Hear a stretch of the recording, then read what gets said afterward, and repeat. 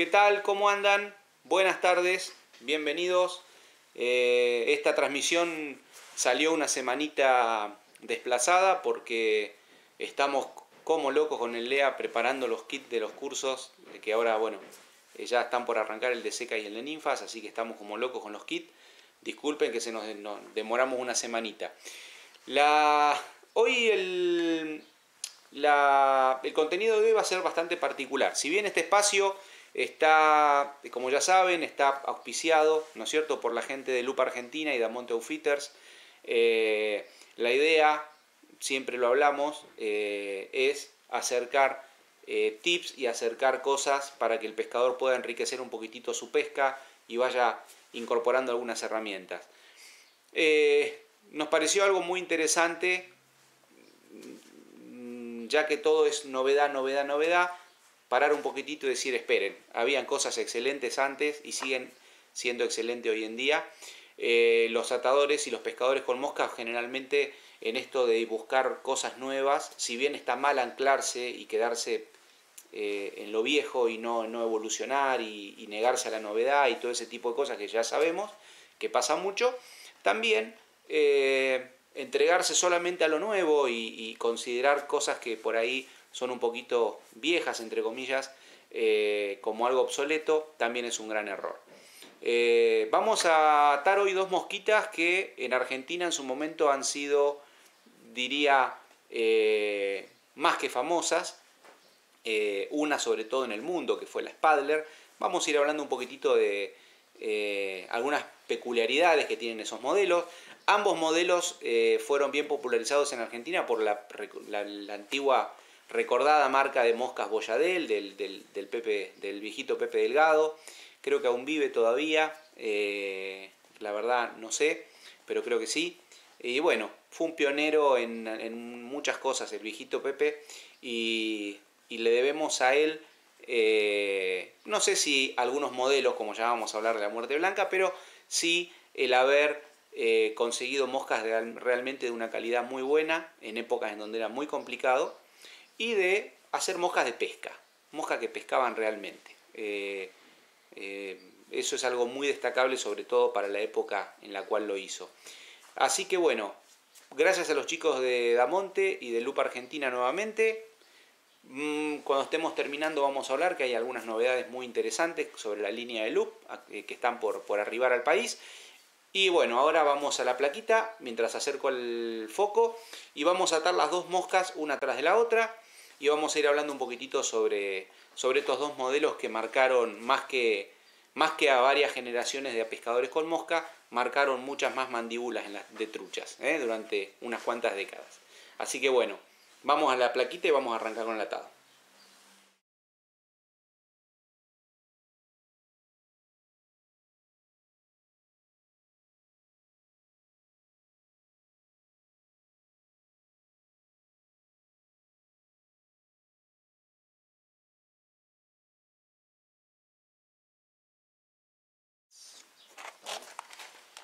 Bien, vamos a usar un anzuelo que era un anzuelo muy usado en esa época.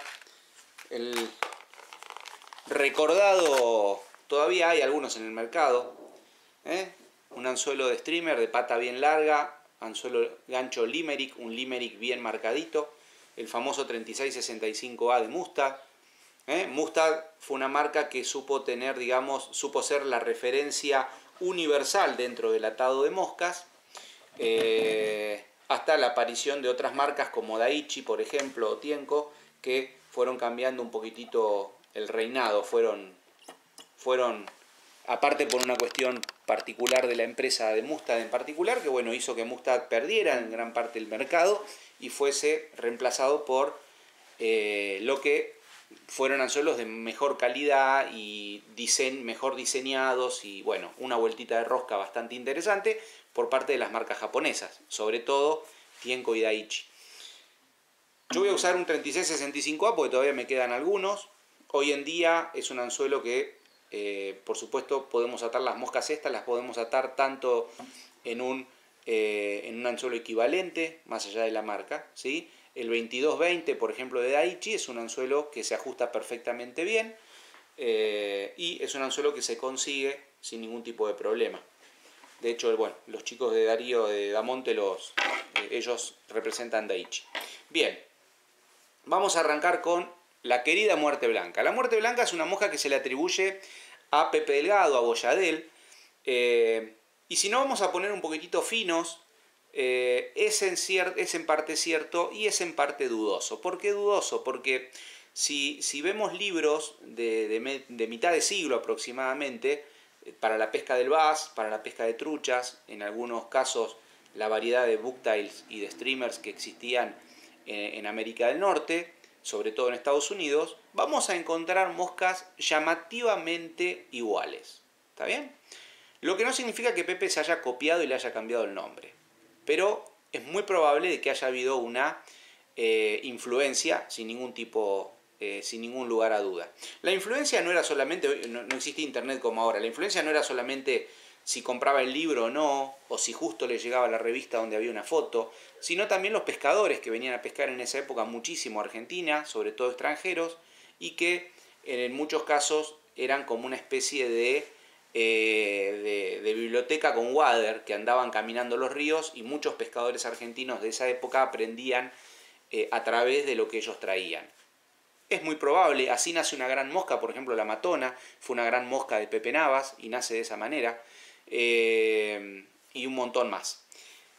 La muerte blanca tiene similitudes con muchos booktails anteriores, muy anteriores, de varias décadas, pero no se le puede quitar a Pepe el, eh, eh, el, haberla atado, el haberla lanzado comercialmente y también el haber, en función a lo que yo pude ver, el haber aplicado ciertas, ciertos cambios en la receta, sutiles, pero que bueno, le dieron a la muerte blanca una impronta y, creo que de las moscas bastante más viejas que hay en Argentina, eh, junto con un par más, la muerte blanca es una de las que ha sobrevivido en la cabeza de los pescadores. Incluso hay muchos pescadores jóvenes que uno les dice una muerte blanca y más o menos saben de lo que se les está hablando, no así de otras moscas que en su momento fueron realmente, eh, realmente importante.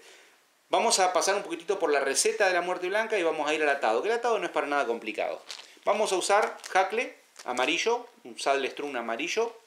Vamos a utilizar tinsel plano dorado.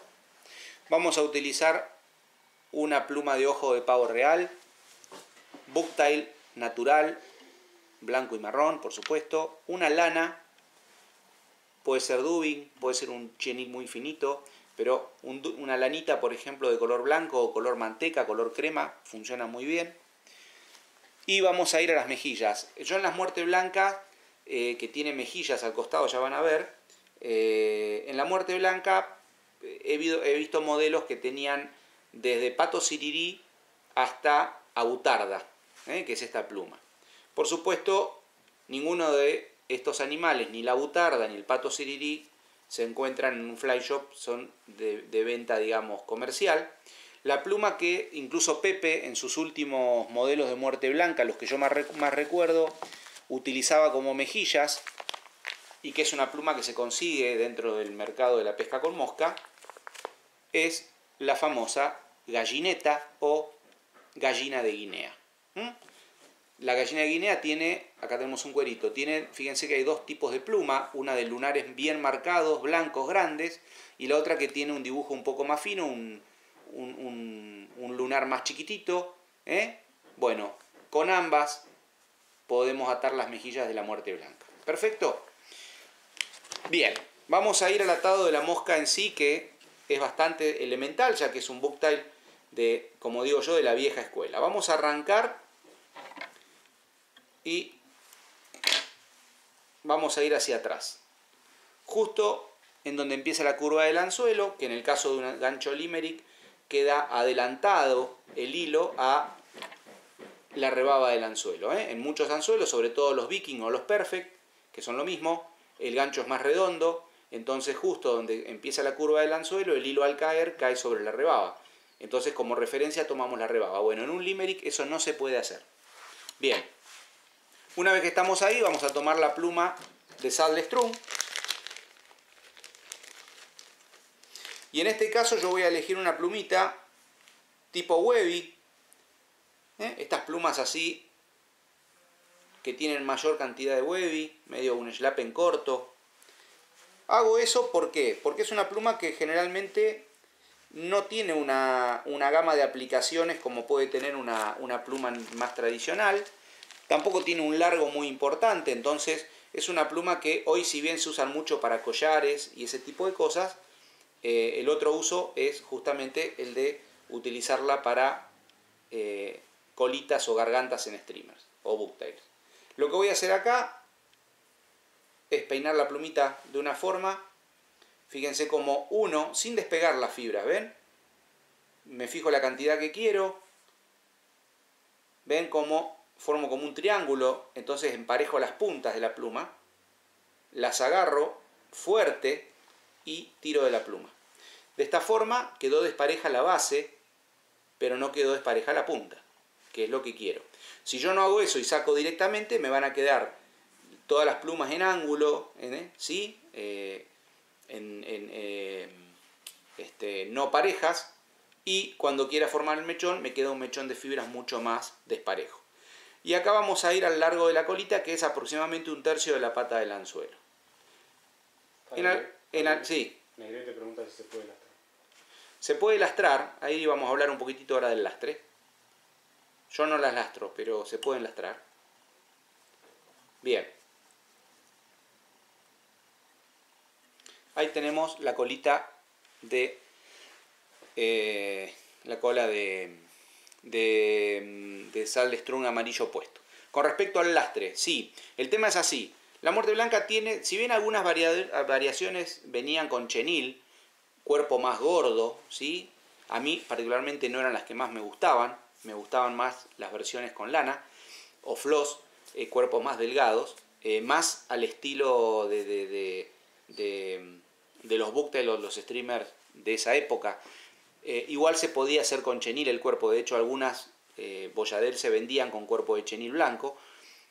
Lo que hay que tener en cuenta con el lastre es que generalmente si usamos hilo de plomo, el hilo de plomo abulta y nos va a engordar bastante más el cuerpo. Entonces por ahí podemos disimular esa cuestión con un chenil, pero también el cuerpo del chenil es muy gordo y para la, la, mosca, para la versión que vamos a atar de muerte blanca, como particularmente yo más la he usado, eh, a mí mucho no me gusta.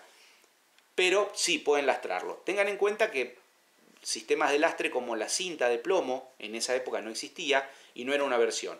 Sí existían hilos de plomo muy finitos, también podemos usar un hilo de plomo muy fino, o también podemos usar un hilo de plomo al cual con una pinza chata lo vamos aplastando para que se, forme como una cinta y lo usamos de esa manera y abultamos menos. Pero sí, se puede lastrar en el caso de que quieran. Bien, lo que voy a hacer ahora, me voy a ir un poquitito hacia adelante. Y voy a atar el tinsel.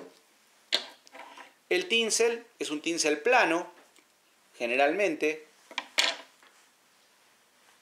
En este caso es un, mylar tinsel que tiene es plateado de un lado y es dorado del otro. Entonces nosotros podemos elegir de qué lado lo atamos para utilizar o el dorado o el plateado. De esta forma lo até como para que cuando yo lo empiezo a enrollar me quede el dorado hacia afuera. Vuelvo hacia adelante. Esto lo hago porque tengo que ir atando para que el cuerpo no me quede desparejo, como es un cuerpo más bien delgado, tengo que ir atando todo generando una base plana. Ahora voy a agarrar la lana es una lana acrílica, esto no tiene ninguna ciencia. Sí, el chiste está en que si quiero que el cuerpo no me quede exageradamente gordo, en lugar de usar la lana armada como está, puedo agarrar y usar una hebra o dos o las que yo quiera. En función de eso, yo voy a ir armando el grosor del cuerpo. Ato la lanita acá como lo ven, con el tinsel puesto ahí atrás. Esta es una manera de hacerlo. También podemos agarrar, hacer esto y enrollar desde acá atrás, hacia adelante. ¿Bien?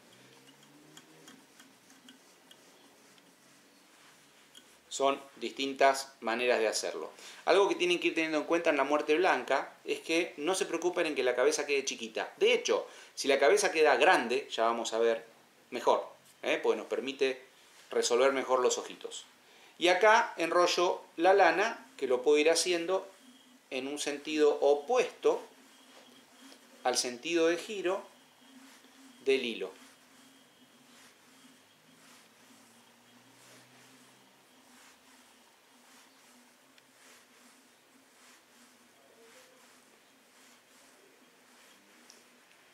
Llego ahí y pego a la vuelta. ¿Ven cómo voy logrando? Voy cubriendo de ida, voy cubriendo lo que no pude cubrir, cubrir bien. A la vuelta cubro lo que no pude cubrir bien a la ida. Voy generando un cuerpito en sentido, fíjense que lo estoy girando en el sentido opuesto. Y logro que el cuerpito de lana sea bien finito. Es algo que quiero para esta mosca. Llego acá y lo ato.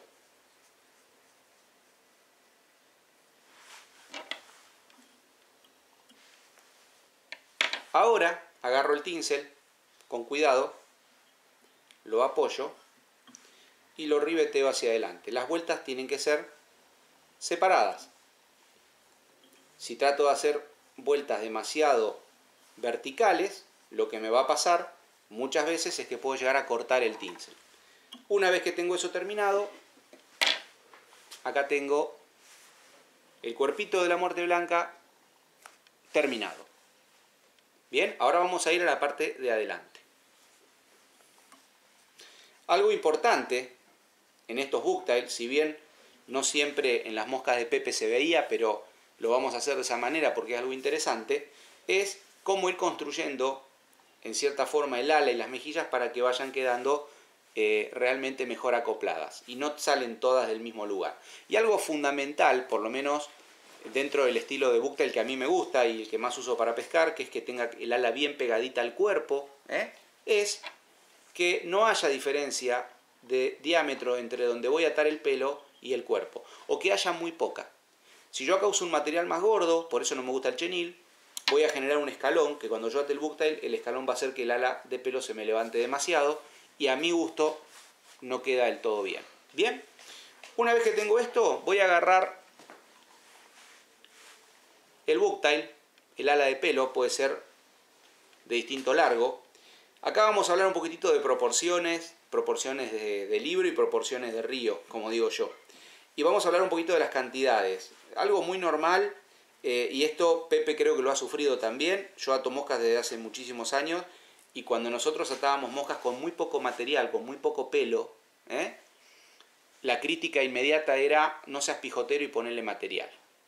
O sea, la mosca tenía que tener mucho material, muy, bien cargada, ¿eh? porque era más linda. Después adentro del agua era un asco, pero no importa. Mm, ese es el enfoque de no, de no pesca. Y los pescadores que eran más pillos, que por ahí estaban acostumbrados a, mirar otra cosa de las moscas, justamente las pedían con muy poco material. Pero Pepe ataba comercialmente. Entonces sus, sus muertes blancas por lo general tenían una construcción de ala que respondía más a veces a lo que se vendía que a lo que pescaba eh, notablemente. Y yo recuerdo en esa época cuando me pedían muerte blanca, que me pedían que les ate muerte blanca, los buenos pescadores de la época tenían dos cosas que eran siempre iguales. Poco pelo y más largo. Eso me lo acuerdo, pero como el día de hoy. Poco pelo y más largo. Poco pelo y más largo. No la brochita de afeitar hermosa que queda muy linda en la foto, pero que después pescando tiene ciertas cuestiones. Entonces, vamos a atar la muerte blanca para pescar. Yo voy a poner poco pelo. Fíjense, voy a tomar un mechón de bucktail realmente muy poco pelo. Traten de elegir un bucktail lacio, ¿eh? no ese bucktail enrulado. Y acá, a ojo, no voy a emparejar el pelo, no tiene sentido, al contrario. Voy a aprovechar que la mosca, cuando trabaje en el agua, tome ¿eh? esa formita natural que toma el pelo cuando se moja. Ven cómo saco un poquito de más para ir regulando la cantidad de pelo que le voy a poner. Y si bien el ala tiene que llegar, para, que, para los ortodoxos, para medir el largo del ala es desde el ojo hacia donde termina la cola. Entonces, una vez que yo hice ese, al trasladar hacia atrás, es eso que queda que queda sobresaliendo más allá de la cola es la proporción de ala perfecta para los booktail en función a, la vieja escuela. ¿Está bien? Particularmente, nosotros lo modificamos bastante y yo llego a utilizar aproximadamente dos veces el cuerpo. Una vez que tengo el largo corto y lo ato arriba. Bien pegadito al cuerpo. Siluetita fina. ¿Perfecto? Bien. Una vez que hice esto, voy a agarrar y voy a buscar un pelo similar de color marrón.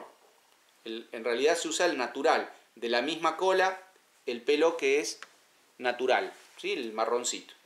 Y acá voy a hacer lo mismo, voy a elegir muy poca cantidad, porque esto va a quedar a modo de lomito. Voy a cortar el mechón. Vamos a limpiar todo el mechón de esa pelusa que tiene abajo.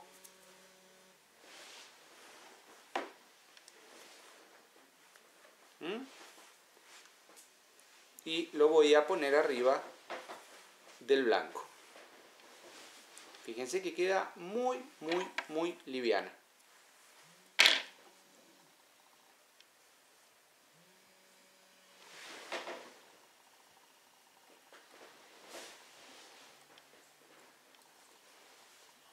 Ahí está. Fíjense lo flaquita que va quedando la mosca. Una vez que hice esto, voy a dar la vuelta. Por eso las morsas giratorias son tan cómodas. Antes era bastante más incómodo hacer esto. Voy a agarrar otro mechón de fibras, cantidad equivalente, misma técnica. Y voy a medir el mismo largo que la cola. Digo el mismo largo que la cola porque si yo le di más largo a la cola, le tengo que dar más largo, más largo a la garganta. Hay que tratar de tener equilibrado justamente esas dos partes. Voy a cortar acá y lo voy a atar.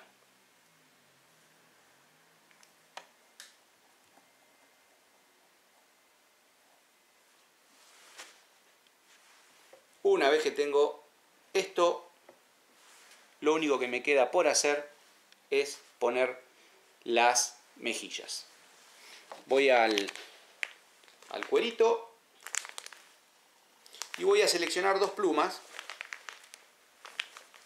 que no necesariamente tienen que ser grandes, pueden ser plumitas chicas. Ahora les voy a explicar una maña que queda muy bien. Son dos plumitas cortas. Lo que voy a tratar de hacer es, cuando las elijo, fíjense de elegir una pluma que tenga un ángulo lo más caído, lo más cerrado posible de fibra. ¿Por qué? Porque yo esto lo voy a poner acá y quiero que calce con el ala. Si yo en lugar de esto agarro y busco una pluma que tiene, que tiene las, fibras ¿eh? muy perpendiculares al raquis, va a ser muy difícil que lo logre acoplar bien. Entonces, voy a buscar una plumita que calce de esa manera. ¿eh? Y que no pase la mitad del cuerpo. Esteban Daban pregunta, ¿qué varía el ojo del anzuelo recto o uno eh, inclinado?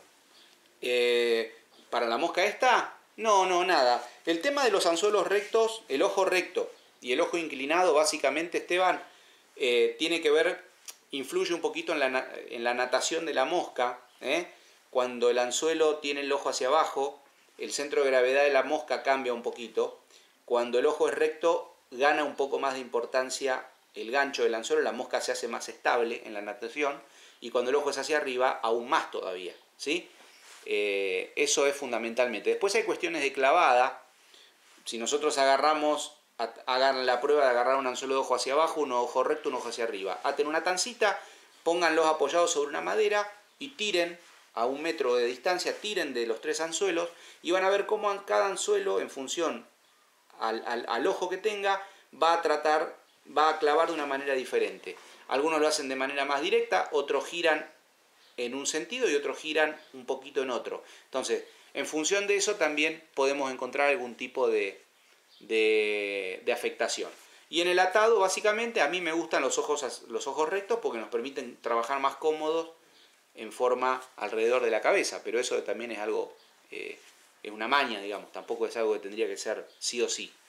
Pero básicamente eh, no vamos a encontrar enormes eh, diferencias sustanciales, por decirlo de alguna manera, entre un, un anzuelo de pata tan larga con el ojo inclinado hacia distintos lugares. Acá tengo las dos plumitas, las voy a las voy a hermanar. Corto. Tengo las dos mejillas formadas. ¿Mm? voy a poner una va a un costado. Hacer malabares para trabajar desde casa te da dolor de ahí pregunta uno si puede reemplazar el eh, Cristian Acuña, ¿se puede reemplazar el, el, mechón amarillo por marabú? Sí. Si se puede reemplazar el mechón amarillo por, marabú. Sí. se puede. De hecho, el mechón amarillo eh, se, puede, se puede. Antes, por ejemplo, en muchas de Pepe venía, eh, venía hecho con un poquitito de calf de cola de ternero, amarillo. Eh, Sí, sí, se puede reemplazar. Lo puedes hacer con, un poquitito de marabú. Eh, después hay que tener en cuenta, eh, eh, digamos, el, volumen del material en el agua y todo eso, pero estamos hablando de que es algo tan poquitito que es más un toque de color que no habría ningún tipo de problema. Sí, es más durable la fibra de jacle que la fibra de marabú, ¿no? Eso ténganlo en cuenta. Bien, ahí tenemos, ¿sí? Las dos mejillitas puestas, perfecto. Fíjense que queden bien posicionadas. ¿Ven? Bien finita la mosca, bien flaquita. ¿Está bien? Y ahora voy a agarrar dos, tres o cuatro, depende la cantidad de, hebras de pavo real y depende el toque que quieran. Voy a agarrar dos hebritas de pavo real, en este caso la mosquita bien flaca, como me gusta a mí, y lo voy a poner del omito. ¿Mm? Castillo pregunta, consulta, ¿ese color de la colita de garganta es el color original o lo hacen de otro color igual?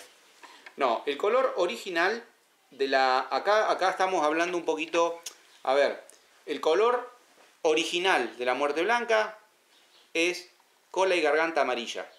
Cuerpo blanco, ala blanca, con lomo marrón de bucktail y el topping que se llama de pavo real.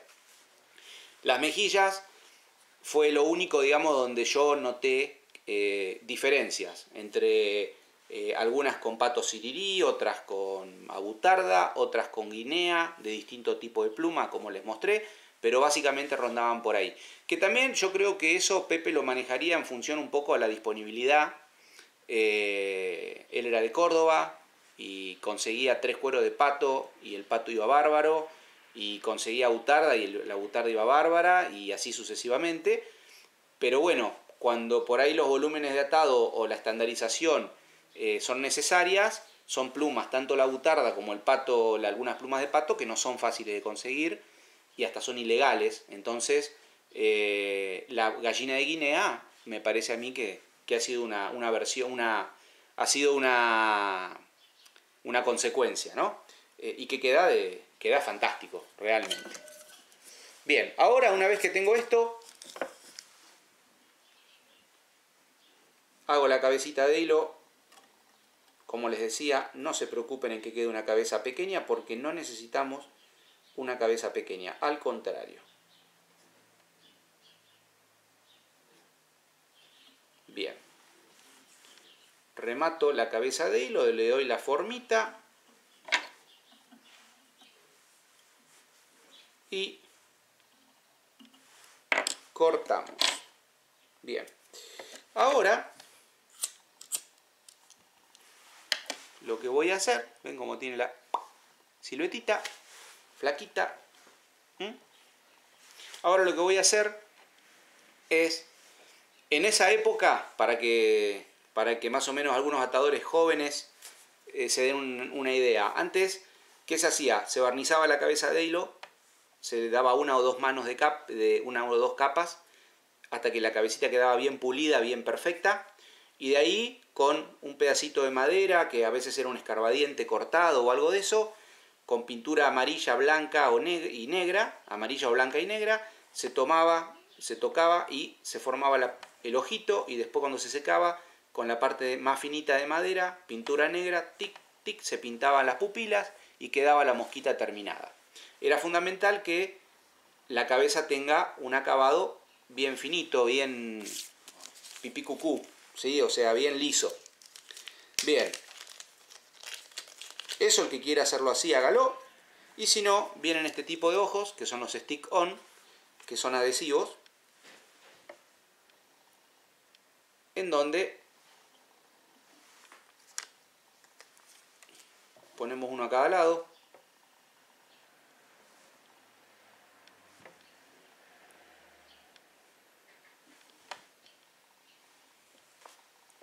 ¿Mm? La muerte blanca tenía ojitos. Eh, Pepe, recuerdo haber charlado con Pepe al respecto de los ojitos. Pepe era un pescador, eh, yo nunca pude pescar con él, ni lo pude ver, ni nada, pero era un pescador muy moderno para su época, muy, muy, muy informado. Eh, la verdad, fue uno de los personajes que yo más rescato de la pesca con mosca en Argentina en general. Eh,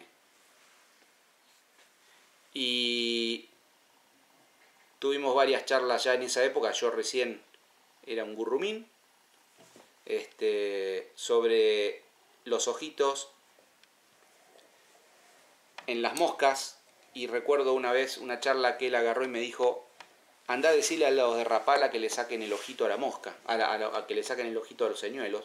Y yo recuerdo que después, muchos años después, en un libro que tengo de Rapala, justamente hablaban de la importancia de los ojos y, de los cambios que quiso hacer Rapala al respecto y que bueno, sus pro le dijeron que no, que los señuelos pescaban menos.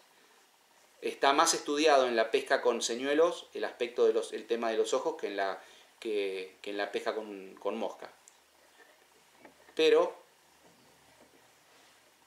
tenemos acá la muerte blanca de Pepe, la terminé con una laca V sobre los esticón, ¿eh? una cabecita que queda, voy a acercar un poco la cámara, ¿Mm? una, una mosca se me cae un lagrimón cuando la veo. ¿Eh? La causante, la responsable de, muchas buenas pescas en nuestro país. ¿eh? La famosa muerte blanca. Bien, acá tenemos el primer modelito, un moscón, realmente. Yo la, adoro a la mosca. Es una de las, de las viejitas que todavía sigo usando. Y ahora vamos a ir a otra mosca que supo también hacer estragos y sigue haciendo estragos, este, que son, es la famosa Spadler. No sé si hay alguna consulta y si no, ya seguimos. ¿eh? Sí, ahí, Miguel Pasquini dice esos, esos, ojitos clásicos pintados, pintados muy buenos. Me hace acordar a las moscas que te envié las fotos. Exactamente. ¿Puede ir sin ojos? Pregunta Alejandro Salgado. Sí, puede ir sin ojos. Y bueno, Ronchi Centeno pregunta cómo se pesca eh, bien, bueno, a ver. Eh, sí, Miguel. Me acuerdo, bueno, Miguel me mandó hace poco unas moscas que del padre, un, pescador de, la zona ahí de Esquel. Este, justamente en, una época los ojitos. Eh, esto de los ojos no es nuevo. Hay estudios publicados en revistas de la década del 30, para que ustedes se ubiquen donde ya habían resultados muy contundentes al respecto eh, en la comparativa de, pesca. Para, se habían hecho experimentos ya con, tanto con bases como con truchas y en ambos había sido realmente notable la diferencia. Y bueno, las revistas ya lo destacaban en esa época, ¿no? Eh, se pusieron como de moda, como hoy se pusieron de moda los 3D, bueno, en su momento se pusieron de moda los ojitos pintados. Después, por esas cuestiones de, locas, de, esas conclusiones que sacamos los pescadores a veces fuera de contexto, se empezó a ridiculizar en Argentina. ¿eh? Eh, afuera nunca pasó eso, pero en Argentina en una época se ridiculizaba bastante el hecho de ponerle ojitos a los streamers y todo ese tipo de cosas. Yo siempre dije lo mismo. Eh, venían pescadores o habían pescadores referentes que se reían de los ojos en los streamers y después eh, se desvivían haciendo un segmentado en una ninfa de 7 milímetros. O sea, aplicaban un criterio de, visión de la trucha para pescar con determinada pesca y aplicaban el, opuesto cuando pescaba, cuando, cuando ataban eh, moscas que medían, a veces el ojo medía lo mismo que medía la ninfa, que, pero bueno, eh, cuestiones son más para elaborar, algún día lo haremos en, alguna, en alguna entrega, ayudado de varias imágenes. Pero sí, los ojitos eh, fueron esos pintados, en una época fueron muy comunes, en aquellos atadores que, bueno, que querían hacerlo, ¿no? Habían otros que eran más rústicos eh, y, no, pero bueno, eso, eso es, así. Eh, pero sí, las moscas de, una década, de un par de décadas, el ojito pintado es, algo muy, muy notable. muy de mucha identidad. Eh, no solamente en Argentina, también afuera. Después, la otra pregunta eh, era de cómo se pesca. Bien, es una mosca que se pesca normalmente como podemos pescar con cualquier otro tipo de mosca. Generalmente imita un juvenil, ¿eh? qué sé yo, hay ambientes donde se usaba para, como imitación de pejerrey, pero básicamente imita un, un juvenil, un minnow, y se pesca de la misma manera. Por lo general, tratamos, es una mosca que rinde mejor de la columna de agua de la mitad hacia arriba. Eh, por ahí, eh, al ser un ala de bucktail, pesca muy bien o pesca mejor en aguas rápidas, en aguas por ahí un poco correntosas, eh, donde otro tipo de moscas a veces colapsan en la estructura o se mueven de una manera diferente. Eh, son moscas que eh, se pescan muy bien y, son fáciles de castear. Por ejemplo, cuando hay viento, son moscas livianas que no absorben tanta agua. Eh, la mejor manera de pescarlo es trabajándola que nade cerca de la superficie del agua. Podemos utilizar líneas de hundimiento lento, líneas de flote si el agua lo permite, líneas de hundimiento medio. También en lugares muy rápidos y muy correntosos podemos usarla con líneas de hundimiento rápido. Lo que tenemos que tener en cuenta es que a veces tenemos la idea como pescadores que la línea va que va por el fondo y de cuete, ¿sí? de suerte si se hundió 20 centímetros. Eso en muchos ambientes se puede ver muy bien y creemos que nuestra mosca va pegando por las piedras y realmente va muy cerca de la superficie. Eh, yo la he pescado de esa manera, es como mejor la he pescado. Después puede ser estripeándola muy suave, con tirones largos, o eh, al swing, manteniendo la tensa en la deriva, son las formas en las que mejor eh, resultado me ha dado. Como su color predominante es el blanco, no es una mosca que yo aconsejo para momentos de poca luz o atardeceres, sino más bien para momentos días luminosos, mediodías o tardes, digamos, luminosas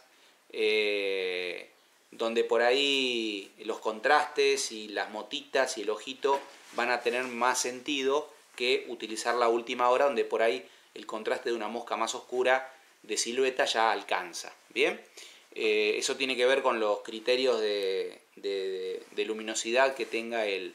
Los criterios no, con los contextos de luminosidad eh, o de visibilidad que tenga la trucha en cada momento. Eh, después la otra pregunta era... Era lo de la pesca, la de Pasquini y había una más. Eh, no, la de la pesca, la última fue la de la pesca. Sí, y había una más. A ver. Pues sin ojos, sin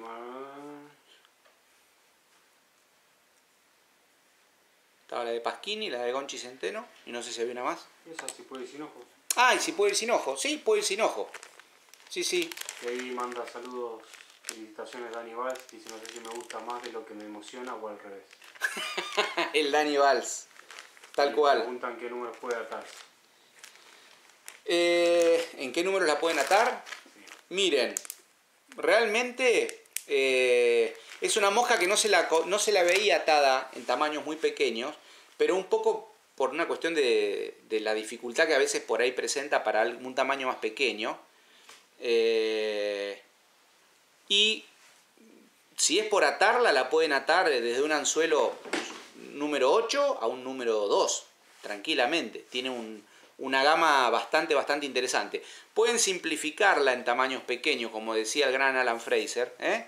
Por ejemplo, si yo quiero atarla mucho más pequeña, puedo simplificar el atado, porque ya al, al hacerla más pequeña, no hace falta por ahí eh, que tenga el cuerpito con ribete y que, bueno, puedo ir simplificando algunas unas cuantas cuestiones, eh, pero sí, se puede atar en tamaños un 8, por ejemplo, 8, 6, 4 y 2 son los, los tamaños más, eh, más usables, digamos, ¿no? que, eh, que generalmente más sirven. Tengan en cuenta que en los tamaños muy pequeños, por ahí la ala más larguita funciona de maravillas porque genera una silueta bien flaquita, bien finita y de un largo adecuado.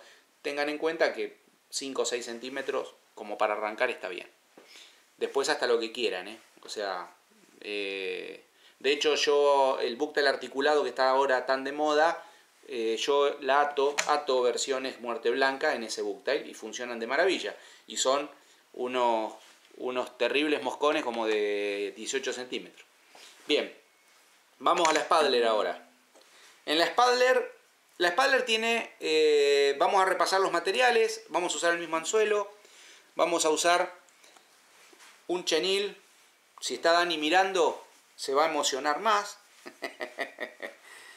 un chenil Ahí preguntaban si se podía aplicar laca al cuerpo para que dure más.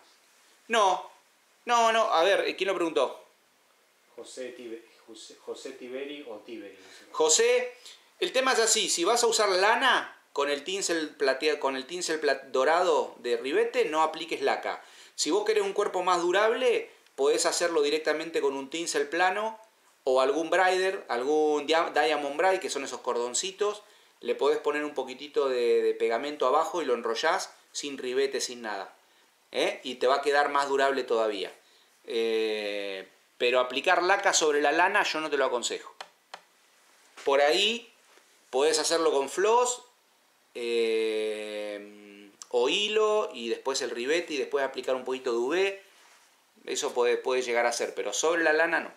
Bien, bueno, acá un chenil de rayón finito. ¿eh? Algo que está desgraciadamente desapareciendo.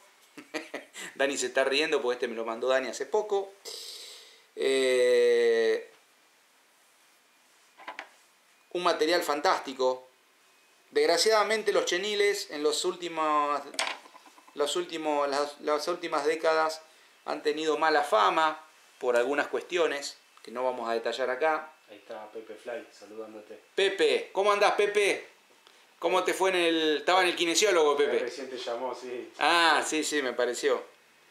¿Cómo anda Pepe? Abrazo grande, Pepe. Lanús presente, viejo. Buah, la teníamos, teníamos que ya que... Bien, vamos a repasar los materiales. Un jacle rojo, jaclecito rojo. Eh, ahora vamos a hablar un poquito de la receta original y de algunas cuestiones. ¿Cuánto El- X long es el anzuelo? Pregunta. 4X.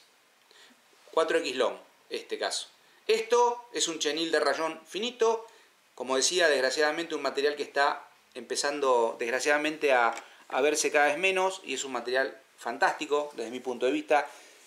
Los atadores modernos, volvemos a lo mismo, están abandonando un montón de materiales por considerarlos, no sé si clásicos, básicos o qué, pero por ejemplo, eh, un material fabuloso para el atado de moscas ha sido el chenil, es el chenil y es uno de los materiales que está eh, cayendo en desuso, desgraciadamente. Eh, vamos a ir a, vamos a usar, bueno, eso para el cuerpito. Voy a usar un cuerito, en este caso es un Ewing. ¿eh? grizzly marrón, aunque los colores pueden ser adaptables. Voy a volver a usar el tinsel plano, el mismo que usé para, para la muerte blanca. Tengan a mano algún buen pelo de ciervo, este es el primo dir, recuerden, yo es el que más aconsejo, es una delicia atar con esto, un antes y un después. Pueden usarlo golden brown, pueden usarlo oliva, pueden usarlo natural. Y vamos a mostrar una técnica muy particular, que no es de la receta original de la Spadler, pero bueno, como siempre la idea es aportar algo, vamos a usar un poquitito de pelo de bucktail de vuelta y vamos a usar alguna plumita de este estilo, eh, que son las que vienen en los cuellos de faisán de collar. Este ya, como verán, tiene poca vida. Ya le queda poquito. Bien, y el que quiera un lastre de plomo. Bien, hilo de plomo. El que quiera lo lastre, el que no quiera no. Cuando las Spadlers son muy voluminosas, muy gordotas, yo aconsejo lastrarlas. Cuando no son tan voluminosas, lo que vamos a hacer es un Spadler más estilo nuestro. Eh, yo prefiero no lastrarlas. ¿Está bien? Bien. La Spadler es una mosca que tiene una receta original algo distinta. Eh, con este eh, pelo de oso pelo de o cola de ternero en la cola, en el bajo ala también, eso lo vamos a reemplazar un poquito. Y la técnica de las alas, vamos a mostrar algo que les va a servir a varios y no es la técnica original, ya que la técnica original se ata directamente con las dos plumas sin ningún tipo de aporte. Tuvo versiones, eh, eh, una mosca famosa también atada por Boyadel, que era la Catfish, era una versión de Spadler. La Sportman de Billy Pate también era una versión de Spadler. La Spadler nace eh, en Dan Bailey. Dan Bailey fue, para aquellos viejos, ¿se acuerdan? Fue una, un fly de Montana, no sé si, creo que existe todavía. fue creo que el primer fly del mundo en tener un catálogo que se mandaba por correo y, y, de tener este tipo de venta por catálogo. Creo que fue el primero en la pesca con mosca en hacerlo, su catálogo iba a todo el mundo eh, y, fue una especie de plataforma de conocimientos básicos para muchos de nosotros. ¿eh?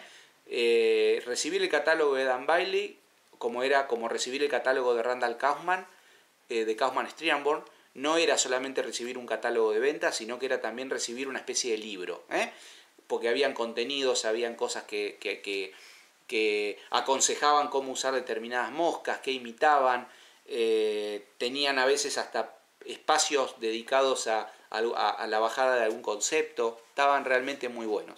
Y fueron la plataforma de difusión de muchos modelos, ¿eh? sobre todo en Argentina. Entre ellos, las Marabu Madler, las, eh, las primeras Matuca Sculping, bueno, infinidad de moscas, la Wally Worm, la, entre ellas la Spadler. La Spadler eh, es inventada por Dan Bailey y Red Monical, un atador eh, americano, eh, tratando de fusionar dos moscas que eran fantásticas para pescar, la Madler Minnow y la Dark Spruce. Las dos moscas eran muy muy buenas, muy efectivas y Red Monical tuvo esa cuestión de experimentar y de ir fusionando algunas cuestiones y algunos modelos. Como la Madler Minnow, que fue la mosca con la que se inicia y se, y se populariza, se inventa la cabeza Madler ¿eh? en Canadá, Don Gappen, fue una mosca, fue una técnica que se empieza a aplicar muchísimo y se empieza a fusionar con otros estilos de mosca. La Marabú Madler, por ejemplo, fue una, un Marabú streamer, que era un streamer común y corriente, normal, muy utilizado, al que también Red Monica y Dan Bailey le, le aplican la cabeza Madler. Y en la, en Spadler fueron un poquitito más allá y fusionaron lo que era un Madler Minnow con una Dark Spruce, que eran dos moscas muy famosas, muy efectivas, y de ahí sale su famosa Spadler. La Spadler original, aparte de tener la colita de, ternero, de pelo de ternero marrón, el cuerpo estaba construido con eh, o lana en dos colores, roja y beige. Eh, bueno, ciertos cambios. Eh, los sculpins americanos son eh, unos pececitos bien cabezones, con dos aletas pectorales muy marcadas, muy, muy, este, muy grandes en, base en, proporción al, pececito y una cabeza realmente importante. Eh, nosotros no tenemos sculpins, tenemos bagres de torrente y los bagres de torrente nuestros son un poco más estilizados, más flaquitos, no tienen esas aletas pectorales tan, tan grandes, eh, son de siluetas más alargadas, entonces hubo que adaptar en cierta forma las siluetas de muchas moscas. Y en eso tuvieron muchísimo que ver los pescadores de los años 70 y en eso tuvo mucho, mucho que ver, por ejemplo, Pepe Delgado, ¿eh? que supo captar esa preferencia en, los pescadores y empezó a desarrollar lo que yo considero eh, por primera vez un estilo de streamers que estaba más adaptado a Patagonia y que no era muy común ver en los catálogos de afuera. Perfecto, vamos a la Spadler, un modelito de Spadler tiene un montón de variantes, vamos a una que yo particularmente todavía uso, Lea no, ¿eh? y vamos a arrancar.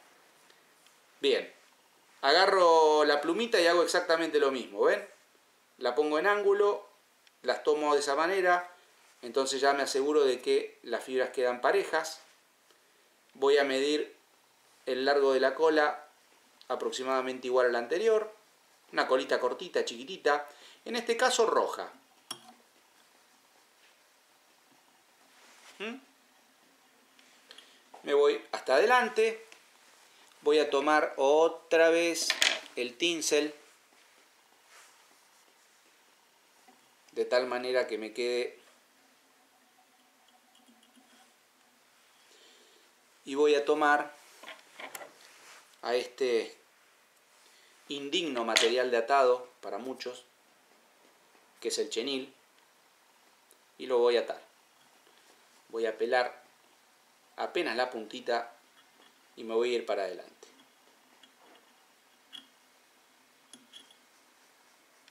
No dejen un espacio enorme para hacer la cabeza. Recuerden, estamos imitando más un bagrecito de torrente y no un sculping.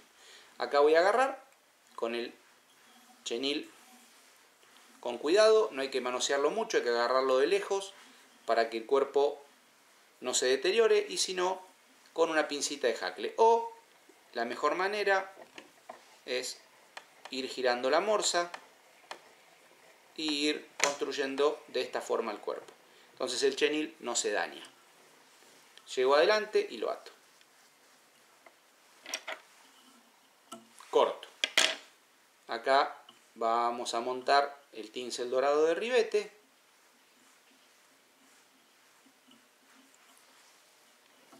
Fíjense que le estoy dejando para adelante en la cabeza. Eso es algo importante eh, y que a veces cuesta mucho que los pescadores se acostumbren, los atadores, perdón. Fíjense que el lugar que estoy dejando adelante en la cabeza es casi el mismo que si iría a atar una cabeza normal. No estoy dejando más cantidad. ¿eh? Eso es fundamental para lograr cabezas pequeñas, que la mosca tenga una silueta más alargada y que sea más fácil hundirla también. Una vez que hice esto, voy a buscar un poquitito de pelo, que en este caso voy a usar un booktail, y voy a formar el mechón que llegue hasta donde está la cola.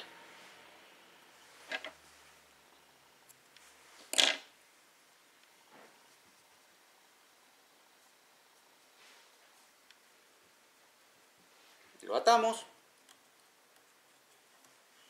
¿eh? y nos queda el mechón de pelo aplastadito sobre el cuerpo y que no pasa más allá de la cola. Es en realidad un ala de sostén. ¿eh? Perfecto. Y ahora vamos a lo que vamos a hacer con las plumitas. Para esto vamos a hacer esto. Yo voy a agarrar una pluma de faisán, del cuerpo del faisán de collar, una, podemos usar otro tipo también de pluma, no hay problema, y ahora voy a agarrar dos plumas lo más parecidas posible de gallo. Y acá vamos a, Red Monical no era ningún gil, y vamos a destacar algo que conviene entender bien. Fíjense esto.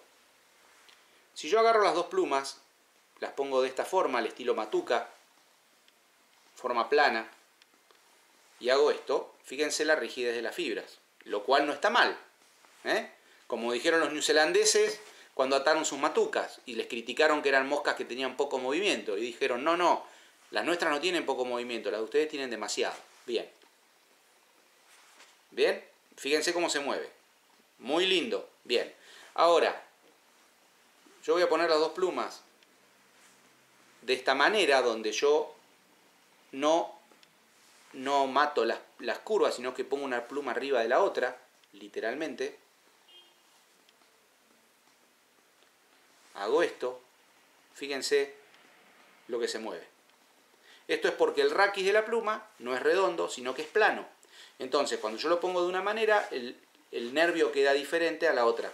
Entonces, esto, fíjense cómo se mueve, con qué facilidad, ¿eh? contra esto. Entonces, en base a esto, fíjense el movimiento, Red Monical dijo, esta es la mejor manera de poner las plumitas. Aparte, para imitar un bagre, genero también una silueta plana.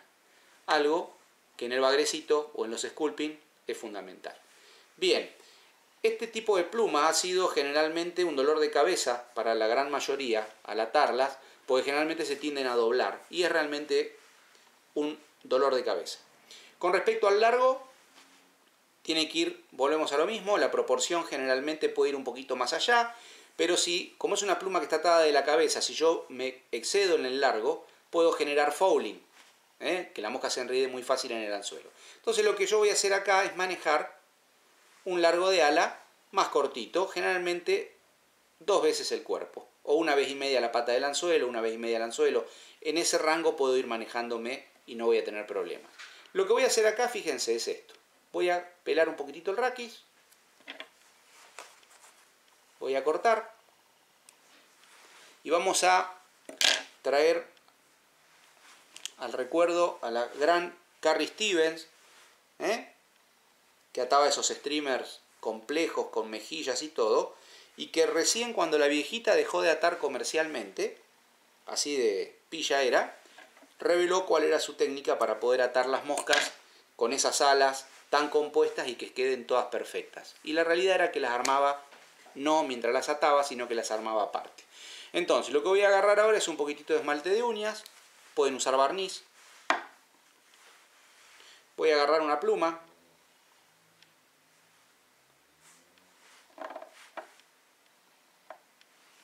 voy a tocar la base, a penitas, la base de la pluma y voy a poner la otra arriba.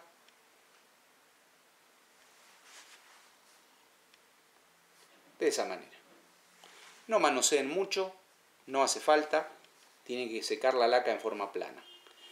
Y una vez que hice eso, vuelvo a tocar. Lo pueden hacer con un poquito de pegamento, yo realmente lo hago con laca porque me, me resulta mejor. El pegamento a veces nos traiciona y nos apelmaza todo. ¿Ven?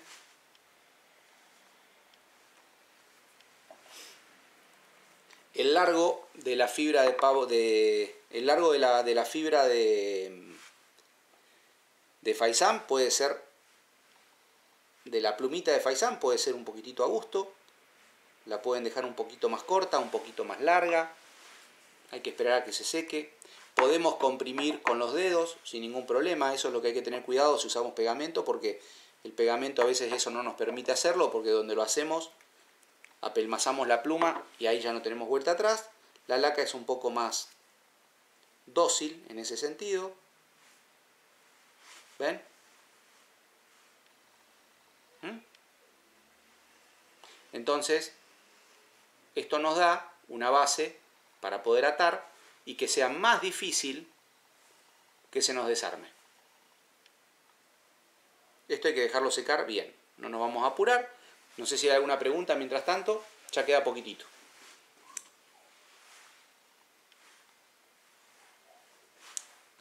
Pregunta Esteban si sabes atar mosca de salmón. Sí, ¿qué Esteban? ¿Qué Esteban?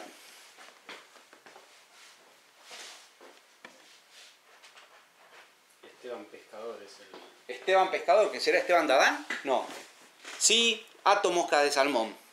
Eh, es algo igual que dejé, dejé de hacer asiduamente ya hace un tiempo por otras cuestiones que no tienen eh, que no vienen al caso, pero particularmente sí, sí, até de hecho mi maestro de atado, siempre digo lo mismo, fue Carlos Govino y Carlos Govino era un, bueno, fue un atador, uno de los más importantes en Argentina, de, sobre todo él dedicó prácticamente su vida a atar mosca de salmón. Este, y ya a los 18, 19 años ya me tenía atando ahí moscas de salmón y fue, fue un poco una especie de decepción para él cuando yo decidí que mi camino en el atado iba por otro lado. Eh, y realmente me encantan las moscas de salmón, tengo muchísima bibliografía, he atado muchas, pero le perdí un poquitito el sentido de hacerlo, por otras cuestiones. Pero sí. Bien. Una vez que tenemos esto, ¿sí?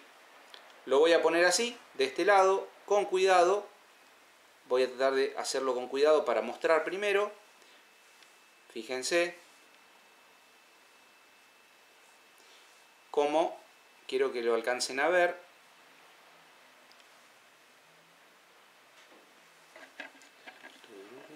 No sé si alcanza a ver un hacer un macro.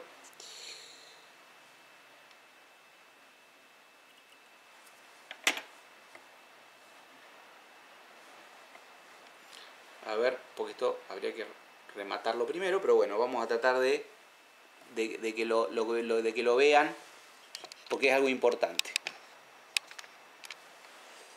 No sé si alcanza a dar el foco.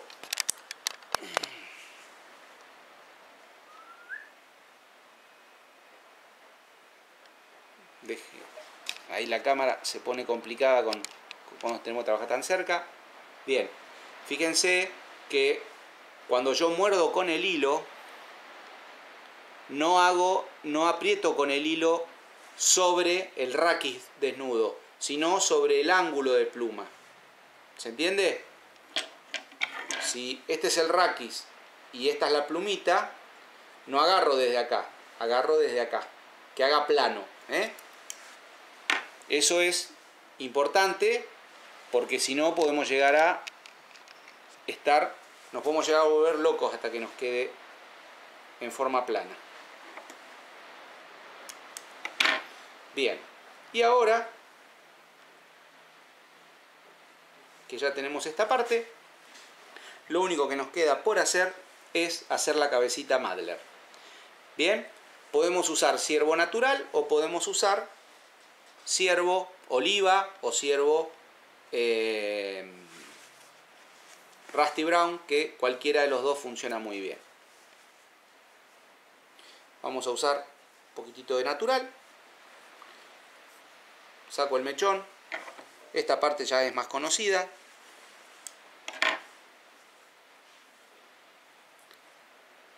Yo aconsejo no emparejar el pelo para que no, no quede como un collar, como si fuese una, capa perfecta, que si bien estéticamente quedan muy bonitas, después para pescar a veces un aspecto más natural es un poquito mejor. ¿Ven? Tomo más o menos que el collar quede a la mitad del cuerpo, corto.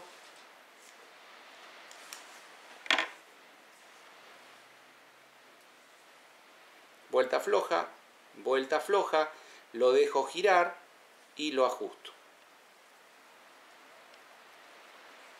Casi en el mismo lugar, paso para adelante y remato.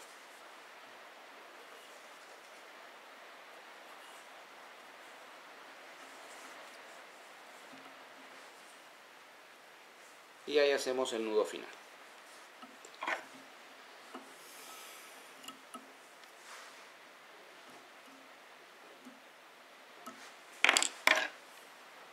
Ahora lo que nos queda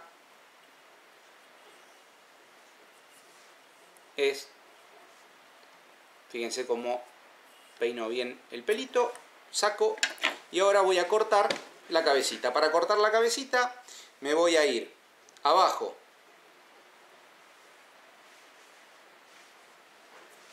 primero y voy a despejar a liberar prácticamente todo el collar.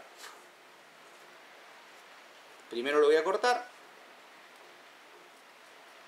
Recuerden que tenemos una densidad de pelo más liviana, no tenemos esa densidad de pelo enorme que nos permite terminar las cabezas como si fuesen un corcho, y como un corcho flotan también. Bien al ras. Ahora me voy a ir arriba y voy a cortar arriba.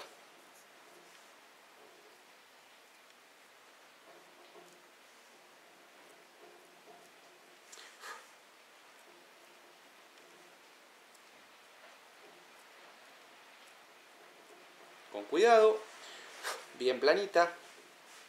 Y ahora voy a ir a los costados y voy a cortar levemente plano. Volvemos a repetir, no estamos atando una sculping.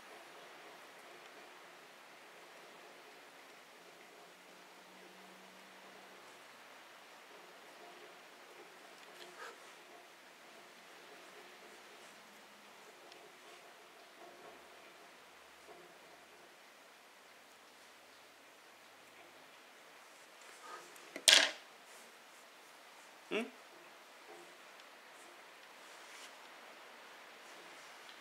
Tenemos la Spadler. Ven el movimiento de la pluma. Muy natural, muy piola. Es una mosca fabulosa. Fíjense la cabecita chiquitita, plana. Es una mosca fácil de hundir. Que después, cuando la mojamos y se chupa en el agua, toma la silueta realmente en, en una forma muy, muy fácil se hunde, toma la siluetita fácil en cualquier tipo de corriente, se mueve muy bien y es una mosca que pesca de maravillas.